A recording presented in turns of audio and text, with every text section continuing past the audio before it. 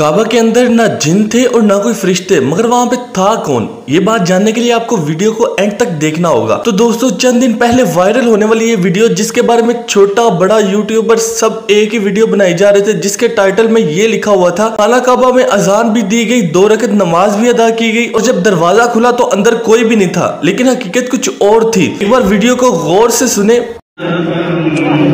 Garin mafita kaba hajja. Garin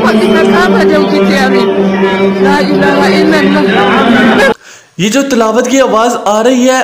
अल्हम्दुलिल्लाह रब्बिल आलमीन और इस तलावत में कोई फ़र्क नहीं है। ये काबा के इमाम शेख माहिर अल मुआइकली की आवाज़ है। ये एक रिकॉर्डेड तलावत थी जो वहाँ पे स्पीकर में चलाई गई थी। उसके बाद एक बार फिर वीडियो को गौर से सुने।